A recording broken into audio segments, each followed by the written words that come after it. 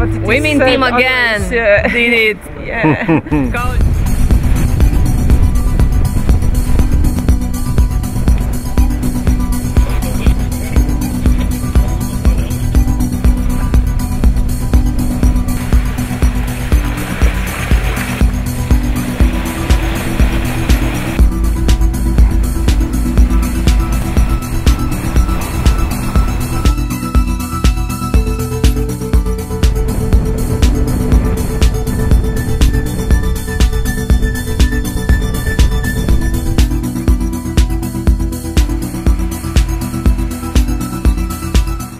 national crew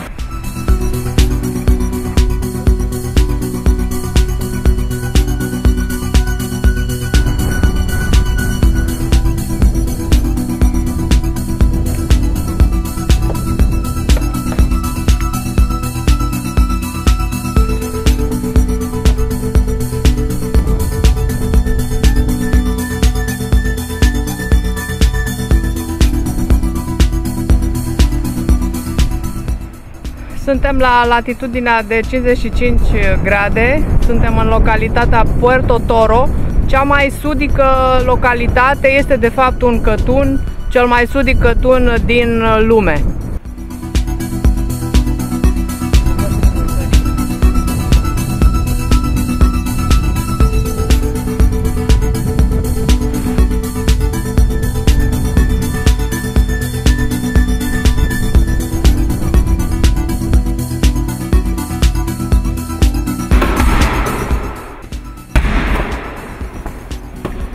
La 15 locuitori câți are Puerto Toro există o sală de sport.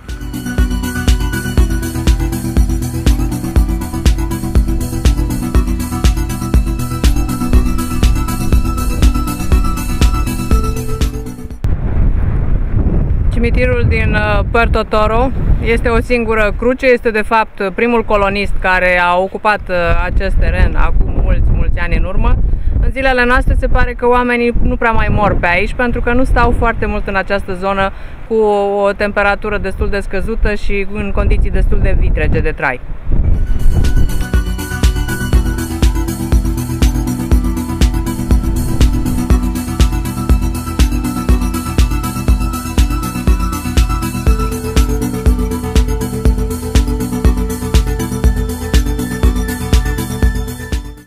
Suntem în uh, capela San Pedro din Puerto Toro. Am venit să ne rugăm, să punem și noi o pilă sus. Să ne rugăm lui San Pedro să ne ajute, să ne permită vremea să putem ajunge la capul Horn. Aici este încercarea cea mai dificilă. San Pedro este ocrotitorul tuturor pescarilor și navigatorilor aici, în uh, Chile.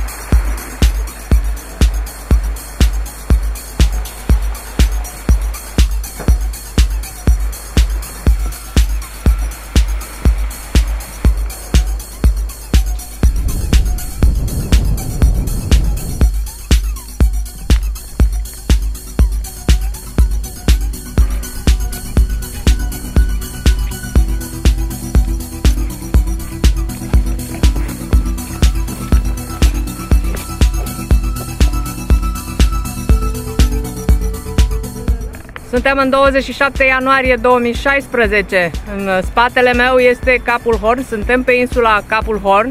Ieri, 26 ianuarie 2016, la ora 9.30, echipajul uh, velierului Phoenix, uh, Marius Albu, Cătălina Albu și uh, coechipiera noastră, Monica Vitkovska, am reușit să trecem, uh, să dublăm Capul Horn. Este un eveniment extraordinar pentru noi. Uh, am avut o vreme destul de serioasă, dură, cum este aici de obicei, vânturi uh, la 25-30 de noduri, dar asta a făcut ca experiența să fie și mai interesantă. Astăzi, 27 ianuarie, vizităm insula, deoarece vremea permite acest lucru și suntem aici în spatele monumentului care este caracteristic insulei. Pe insulă se fac uh, pregătiri, uh, toată lumea este uh, într-o mare agitație, deoarece vineri și sâmbătă vor avea loc, va fi aniversarea, se împlinesc 400 de ani de când a fost găsită această ieșire pe la Capul Horn și la acest, la acest eveniment va participa, bineînțeles, un mare număr de reprezentanți ai armatei, dar și uh, președinta Republicii Chile. De aceea oamenii sunt uh, în alertă, vor să fie totul perfect și sperăm că vor avea parte de niște ceremonii foarte frumoase.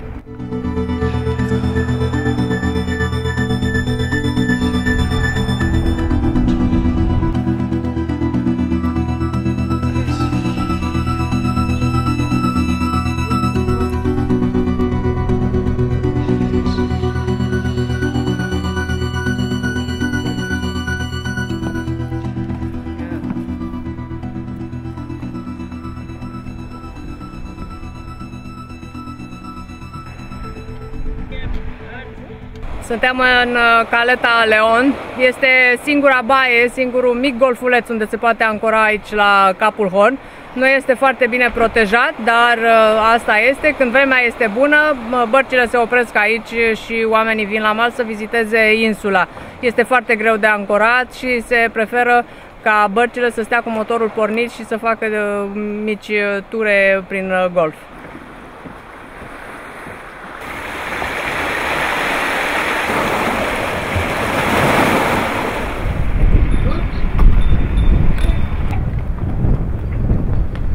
Suntem în uh, Puerto Williams, în uh, Marina Micalvi. Este prima zi de relaxare după ce am reușit uh, să trecem și să dublăm Capul Horn. Acest lucru s-a întâmplat pe 26 ianuarie 2016. Exact am dublat Capul Horn la ora 9.30 după care am mers, pentru că vremea era foarte dură, ne-am oprit într-o caletă, iar a doua zi, pe 27, profitând de o vreme foarte bună, aproape de calm, am, ne-am întors și am lăsat barca în caleta Leon și am vizitat insula Hornos.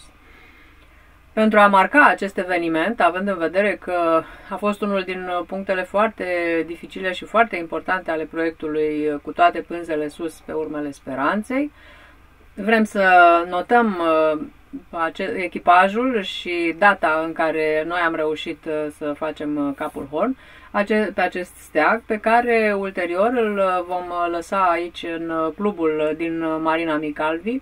Este o tradiție pe care o urmează toți cei care fac capul horn, așa că o vom urma și noi. Deci voi scrie numele iahtului, trec la modul internațional Sailing Vessel Phoenix, locul, capul Horn și data când am uh, trecut, am uh, dublat capul Horn uh, și echipajul care a participat la acest eveniment.